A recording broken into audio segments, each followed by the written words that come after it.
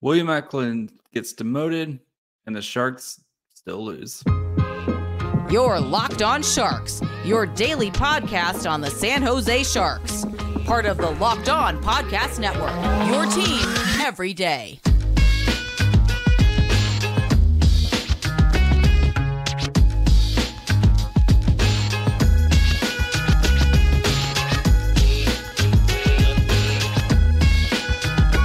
Hello, welcome to Locked On Sharks, the premier hockey podcast of your favorite team that Pierre McGuire is worried to death about.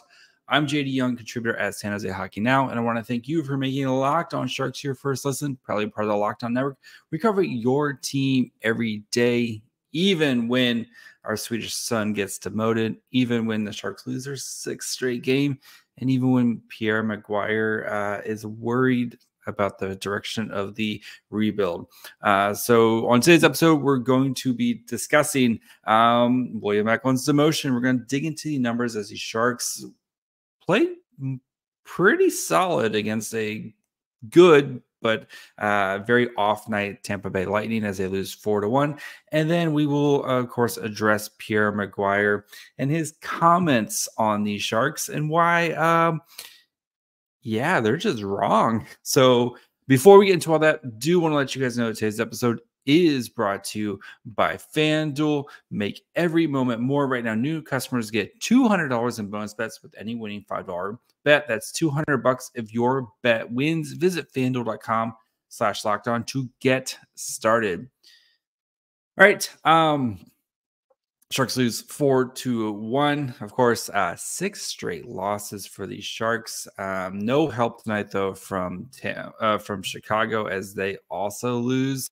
Um, so we have a big game on Saturday night with uh, the Blackhawks and the Sharks um, playing on Saturday. But no help there as the Sharks continue to have a four point cushion between themselves and Chicago for the race for the number one uh, draft, or at least race for number one in the tank standings. So the Sharks still having a game in hand. But uh, big news, of course, about this game was William Eklund's demotion.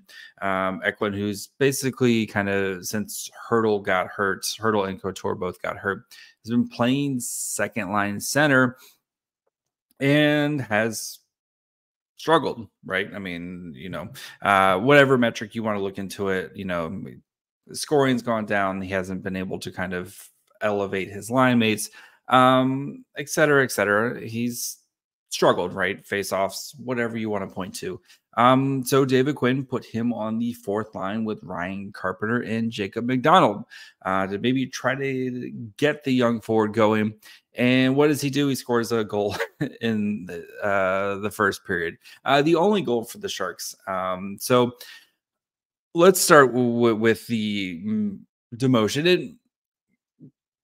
It's fine, right? I like I'm fine with Eklund playing down. We saw him this happen earlier this year, right? Eklund played on the third line with Nico Sturm.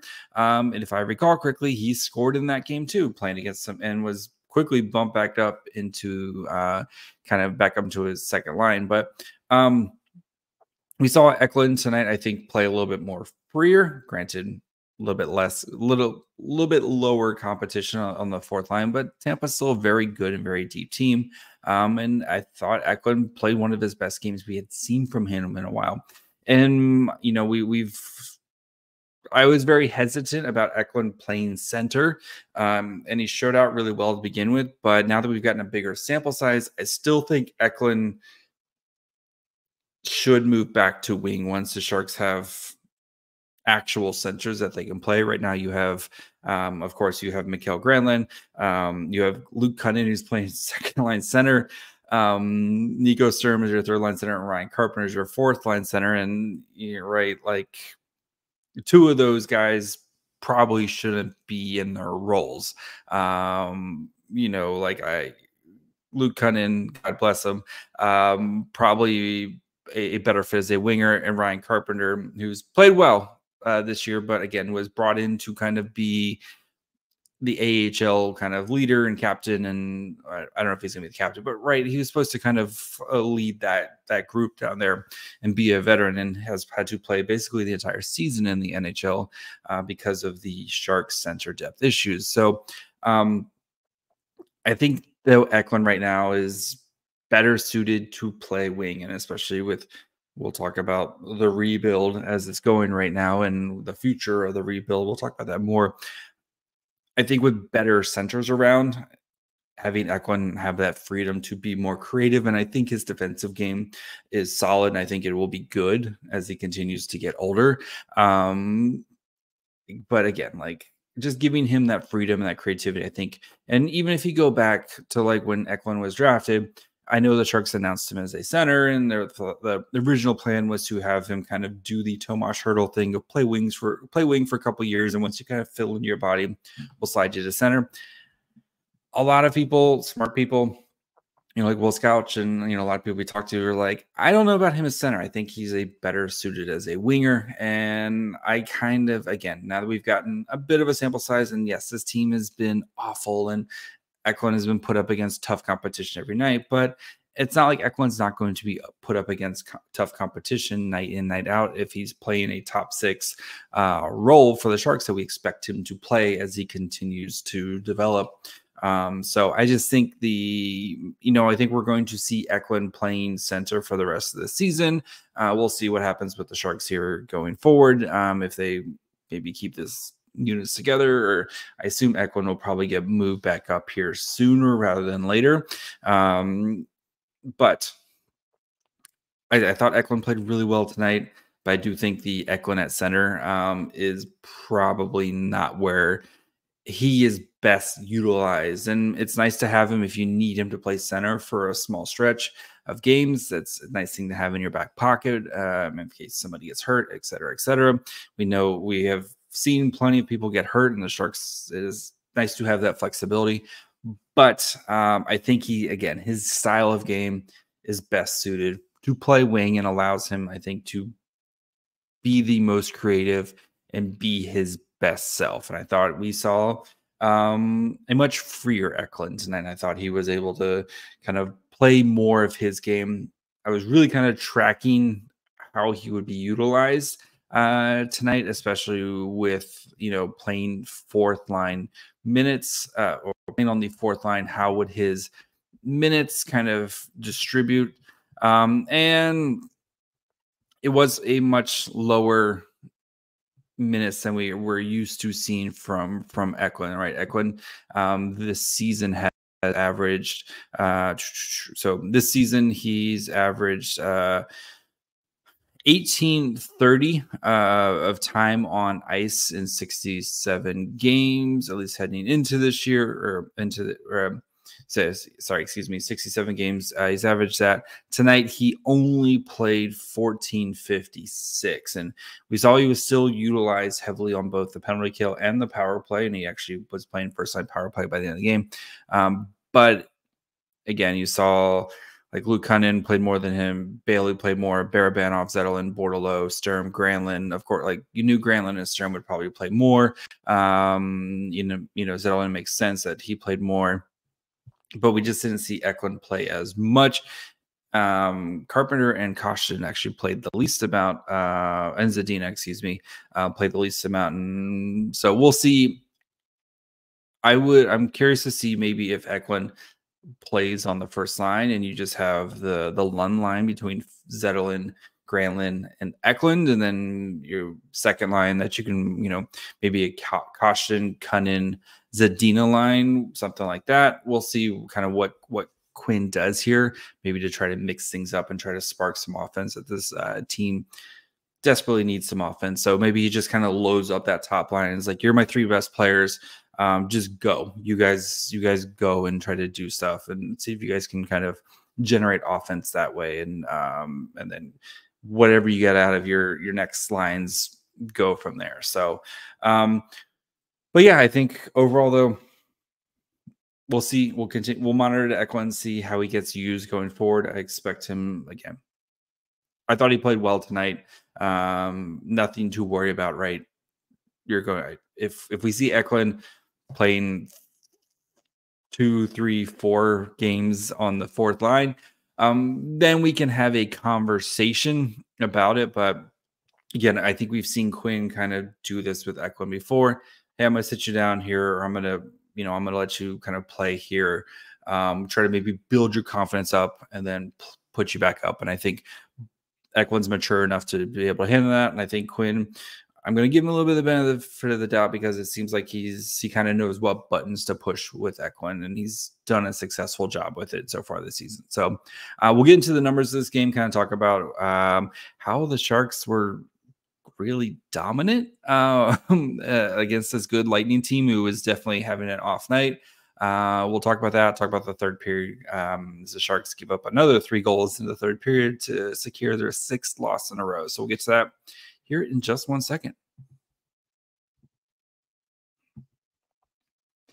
No matter how the last game went, anytime you take the field, you got a shot at greatness. Give your team the best shot at winning by recruiting more MVPs with Indeed. Uh, if you're hiring, you need Indeed because Indeed is the hiring partner where you can attract, interview, and hire all in one place. Indeed's the only job site that you're guaranteed to find quality applications that meet your must have requirements, or else you don't pay.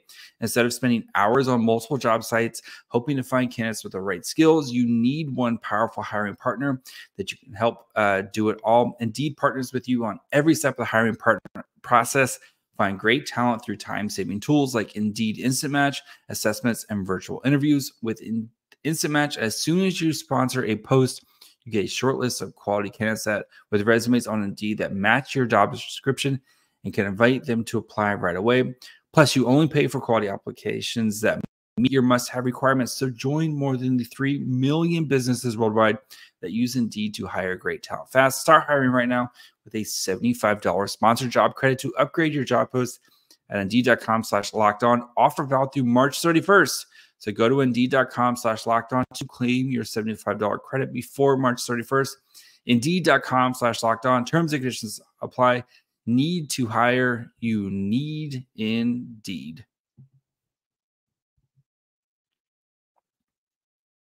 All right, uh, let's dig into the numbers of this game. And again, like the Sharks, this Lightning team had been like on an absolute tear coming into this game, and maybe that more they were due for a letdown, um, playing against the worst team in the NHL.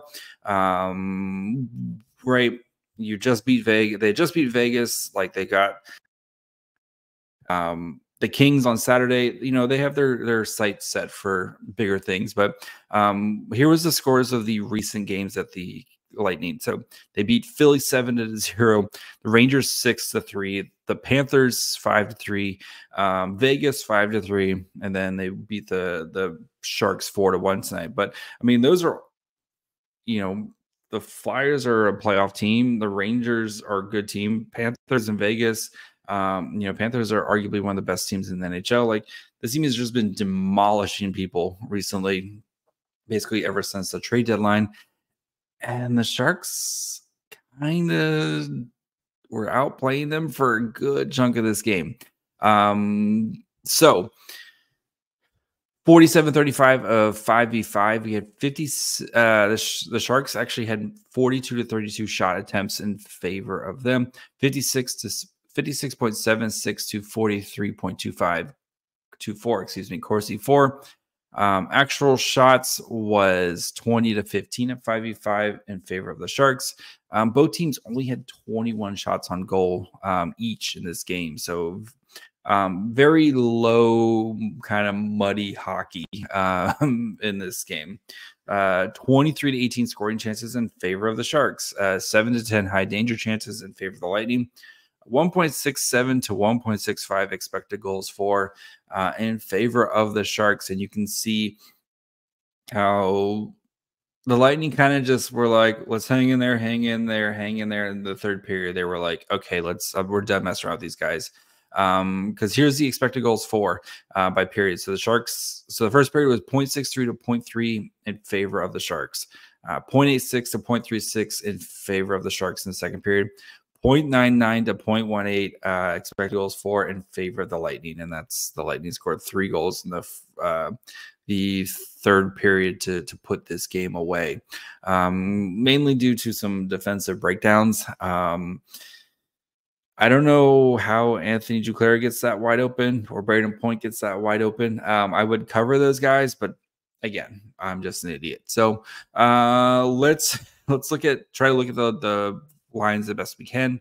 Um, again, with Jacob MacDonald playing as a forward, it screws up the lines a little bit on natural stat. So we'll do the best we can here. So um, we had Zetterlund, Granlund, Kostin play uh, was the first line. Um, Bear, Banoff, Kunin, Zadina was your second line. Bordeleau, Sturm, Bailey, and like I talked about, we uh, Eklund, MacDonald, and uh, Carpenter was your third line.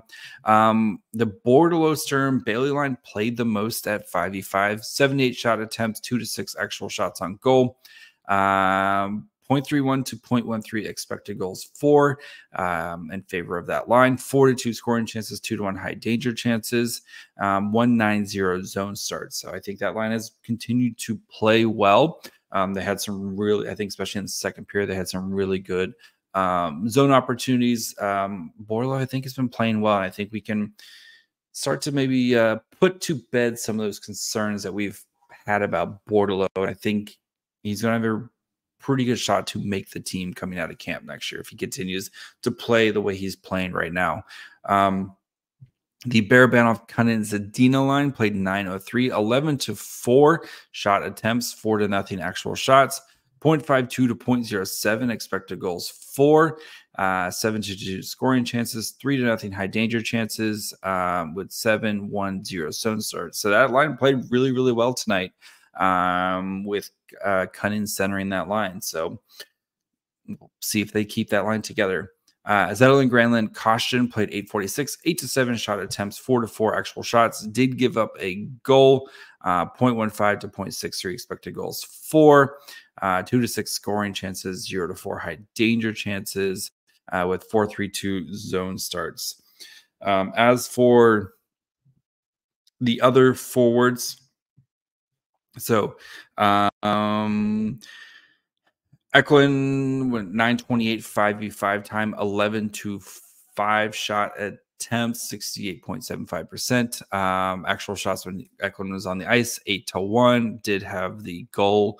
Um, very nice goal. Very nice pass from Jacob MacDonald. MacDonald's like, I, I don't want to resign Jacob MacDonald, but anyway, uh, he's been really good for the Sharks. Just kind of that utility guy. So uh, MacDonald was uh, third on the team with Corsi four, 68.42%, 13 to 6 uh, shot attempts, 10, uh, 1031 time on ice. Nine to one out shooting. One did have the assist um, as well. And then Ryan Carpenter, uh, 11 19 time on ice, 11 to 8 shot attempts, 57.89. Corsi 4 actual shots was 8 to 2. So that fourth line played really well uh, when they were on the ice together. So, um, as for kind of running out of time here, so we'll, we'll uh, kind of skip the defender defenseman. We'll talk about Mackenzie Blackwood here really quick. So, um, Blackwood, just something to keep an eye on, uh, was not available um, after the game for the media. Media requested him. He wasn't available. Uh, looks like he took a puck off the mask uh, was being evaluated. David Quinn expects him to be fine. Um, per I think uh, Max Miller had it first, um, but just something to keep an eye on. Right, if something crops up here, um, again, something to keep an eye on there. But um, Blackwood in his first game back in action again wasn't tested much with again like you don't expect the Lightning to just kind of only put up 21 shots on goal, um, but Blackwood made 17 saves on 21 shots. Uh, four goals against, expected goals against in all situations was 2.57, 810 save percentage, uh, three high danger saves on seven high danger shots seven for seven on mid danger and seven for seven on low danger. So um, that's that. Um, right, like the Lightning were very much we're we're not getting a lot of shots on goal tonight, but we're going to make every one of them count. And like both the point, or I mean, the first goal was wonky because it it bounced off a the linesman skate. Not much you can do there for Mackenzie Blackwood. Um, Brayden Point with the kind of left by himself. Anthony Duclair, who I'm sure has practiced that move on Mackenzie Blackwood in practice. Um, like you can't just give uh, Anthony Duclair all that space. And then the last Brayden Point goal with Kucherov, which is ridiculous. If you did not see that uh, assist by Kucherov, he is basically pinned in the corner with like Mario Ferraro on him. He's Kucherov's on his knee. He gets the pass out uh, to Point, and Point just crushes it. Like it is a ridiculous, ridiculous uh, pass by Kucherov. Go check it out. Go find it on Twitter or wherever. Um, just yeah, we've seen better games from Blackwood, but um, the the health thing is we'll see how again see how it does how the things happen here. So, um, yeah, we'll shut the book on this game. Uh, we'll talk about Pierre McGuire, why he's worried about the San Jose Sharks uh, rebuild here in just one minute. Say goodbye to busted brackets because FanDuel lets you bet on every game of the tourney. Whether you're betting on a big upset, go Oakland, or a one seed, it's time to go dancing on America's number one sports book because right now new customers get $200 in bonus bets if your first $5 bet wins. That's 200 bucks to use on point spreads, money lines. You can even pick who's going to win it all. Just visit fanduel.com slash locked on and bet on college hoops until they cut down the nets. All right. Uh, Pierre McGuire is worried to death about these Sharks uh, rebuild. So on the sick podcast, the eye test, um, him and he was on there. That's his uh he's on there with uh Jimmy Murphy, who's one of the the main guys over at uh, the hockey now. Um, I think he does the the Boston, if I remember correctly. But um, yes, he's the Boston guy. Um, you know, and they have a right. Um, and like again, Pierre McGuire has forgotten more about hockey than I will ever know. Um, you know, a longtime analyst. He worked for the Sens for a little bit. Like he, you know, right? He's he's he's forgotten more about hockey than than like I'll ever know about. Okay, um, but he said on this was on the two yesterday Wednesday's episode. Uh, the Sharks they're in trouble. Anybody that says they're believing in the rebuild in San Jose, their nose is growing by the second. He talks about how you know they're going to get pulverized if they bring out you know like any of the young players out of school. They rush any of the guys, stuff like that. Like here's the my my thoughts on it. Again, what did you expect for this rebuild? Like you I know the Sharks have been bad basically since like 2019, right? But you have to kind of separate, right, what the Sharks were doing. They're on two separate timelines. You had the Doug Wilson era, um, you know, and Doug Wilson was trying to get that one last, you know, we know what happened and in 2018, 2019. They get to the Western Conference Finals. Um, Doug Wilson, you know, he wants, he's trying to one last run, one last run with the with this group of players. And you know, especially with the guy, right? You had Brent Burns locked up, you have Logan Couture locked up, you have Vlasic locked up, you have Erik Karlsson locked up, you have you know, a bunch of guys locked up on, you know, long-term contracts. You're trying to maximize that. And I've and I know the Sharks are in a terrible spot now, but again, what Doug Wilson was doing, like I get it. It makes sense. It made sense at the time. You're trying trying until you basically can't anymore. Um, and that's that's where the Penguins are going. Like we're going to see this with the Penguins soon, right? And if not right now, you keep trying until it's done, until it literally like kicks you in the face and says you can't anymore. Okay. I get it. I don't fault Doug Wilson for what he was trying to do. If the Sharks had won a cup in any of the time, we don't care, right? You point to the banner and say, cool, we got one, right? Um, just never worked out. That's for a different discussion that we've had on this podcast before. But anyway, so the Sharks rebuild really didn't come in start until Mike Grier got here.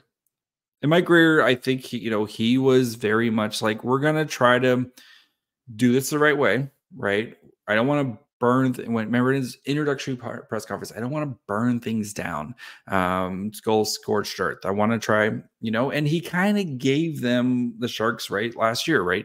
Yes they traded brent burns okay?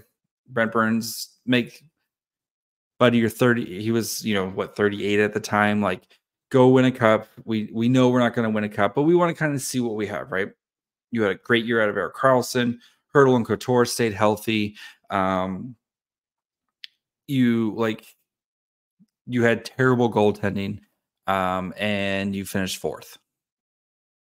Okay. He realized that season this isn't gonna work. We gotta we gotta burn this thing down. He ended up trading uh Timo Meier that season, traded Erik Karlsson, um, and then he turns around and trades Tomas Hertl this year. Like none of these guys are going to be part of your next great Sharks team. And you know, he's brought in some veterans guys, you know, like he's brought in your Ryan Carpenters, your MacDonald's, you know, Mikael Granlund, who was expected to kind of be, you know, was almost bought out by, by the Penguins before he was traded. Like they've been brought in here to kind of keep the ship afloat. And I know this season has been awful. And there's, you point, we'll spend plenty of time this offseason kind of pointing to what went wrong this year, right? Um, but like Mike Grier's doing the right thing. He knows the best. Again, we've talked about on this podcast before. The best way to build sustainable success. That is, we don't want to be, you know, a team like the Wild who you get in the playoffs every, you sneak into the playoffs every year and you lose in the first round, right? You want to build sustainable success. We want to be see that next 15 years of great Sharks teams. The best way you do that is by drafting and developing um, premier talent. And the Sharks have started to do that, right? I think William Eklund is the first piece. Um, you have Will Smith, who is, you know, Will Smith as a freshman nominated for the Hobey Baker Award. Um, and we're going to have a conversation next week about what the Sharks should do with Will Smith um, to make sure, little just spoiler, right? You have Quint Musty is going to be, looks to be a monster. Um, you know, you have solid pieces in Filip Bystedt and David Edstrom. You've got potential diamonds in the rough and Luca Cagnoni, uh, Eric Pohlkamp. And again, like not all these guys are going to pan out. You have a potential number one pick this year that you might get in a franchise changing player in Macklin Celebrini. Like you're getting, you're doing the right thing. How what Grier does next is going to be big, right? Now that, is, you know, can he get can he sign some guys? Kind of maybe come in here, hold on, continue to hold down the fort while you let your guys develop, and that that's going to be big, right? But Grier has, I mean, we we talked about the other day on on this very show. Look at the Sharks cap situation now; it's so much better than it was. And yes, they're going to have dead money next year, um, but right Logan Couture is your longest signed guy, and we're not even sure if he might even play anymore. Like that could just be LTIR. Like the Sharks cap situation is so much better right now than what it was when Mike Grier took over. And you can argue Mike Grier didn't get enough for his trades, and that is a very fair argument on especially a lot of them. But like a lot of these guys are looking way better than we expected. You know, look at like Shakir Mukhamadullin. Shakir Mukhamadullin, we were like, whatever Mukhamadullin looks like a, dude, right? Like he looks like he's going to be a really, really good defenseman for the Sharks for years to come. Um, Quentin Musty, like I said, Fabian Zetterlund looks like, or you know, Fabian Zetterlund's having a career year this year on a very bad team. Um, but like Zetterlund looks like a dude for for the Sharks going forward. Um, I'm not worried. I'm not worried about this rebuild. I I think Mike Grier is done everything he can to put the Sharks in the best position um, to, again, sustainable success. That is what we're aiming for sustainable success. Be that next great Sharks team for the next 10 to 15 years. Um, and I think they're they're heading in the right direction. This is uh, going to be a big offseason for Mike Grier, right? Uh, of getting the right guys in here who, again, can you hold down the fort for a little bit? Can we start to kind of play a little bit more winning hockey? Um, start develop some of these young guys, but again, not be progress stoppers for when you're Will Smiths or your Eklunds or whoever like not be progress stoppers here. That's a that's a big ask for for Grier, but I think I'm 100%. I believe I believe in what the Sharks are doing. It's the best way to build again sustainable success. So that's gonna be it for me today. We'll be back next week. Um, like I said, uh, we'll have a recap of the Blackhawks game. Maybe that might even come out Saturday night. We'll see. Uh, we're gonna have a nice discussion on Will Smith and his future, more draft profiles, all that good stuff. So make sure you guys are following wherever you get podcasts, and of course, you can watch on YouTube as well. You can follow the show wherever you, uh, you get, or sorry, you can follow the show on Twitter, Facebook, and Instagram at Locked On Sharks. Follow me on my uh, Twitter at my Fryhole. Until next time, bye, friends.